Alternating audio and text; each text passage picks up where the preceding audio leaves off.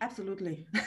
There, there is there is no doubt. So uh, i think that the future of news media depends quite a lot on on um, the way they deal with the threats and um, the opportunities that exist today. So this will shape the future of news media. Um, the biggest threat that I see now, and this is um, not only a threat for news media, but a threat to science and a threat to um, uh, democratic societies, it is the problem of fake news.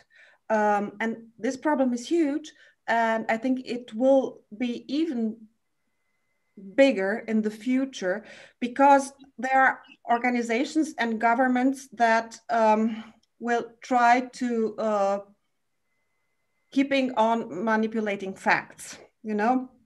So, and, and the technological development will make the manipulation even easier and it will get more and more difficult to discern fakes from facts. And we see this happening not only on in countries like uh, Russia, uh, Turkey, or China, but also in Western societies like uh, USA or even Hungary in Europe. So I think this, this is a big threat.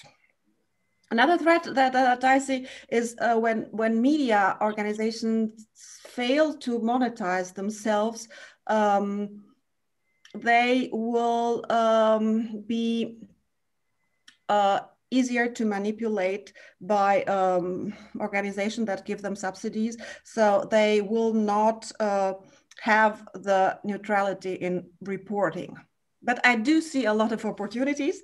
And uh, um, actually, I, I, am a big believer in quality journalism and uh, in trusted sources. And uh, um, I believe that publishers really have to get the direct contact to their audiences like they had it before and not focus on focus on on on, on google or facebook because these are not their audiences on, on Facebook or Google. So this is like working, like like building your house on a rented ground. Yeah. So um, I think they should go with their own competence, and I think they should invest in in um, good technologies. I'm a big believer in an intelligent use of artificial intelligence and new technologies, so that the the people in the news media organization can. Um, concentrate on their core competence. And this is quality news for a democratic society.